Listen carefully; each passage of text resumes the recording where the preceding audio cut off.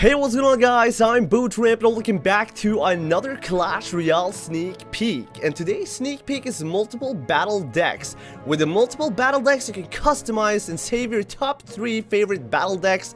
Let's take a closer look at how this works. As you see, there is three buttons with numbers on the top right corner of the screen. If you want to change something, let's say your second battle deck, simply click on the second and start customizing your deck. Once you're set, you're ready to go. So that's basically for today. I really hope you guys enjoyed this sneak peek. Subscribe for more sneak peeks to come and see you guys later and goodbye.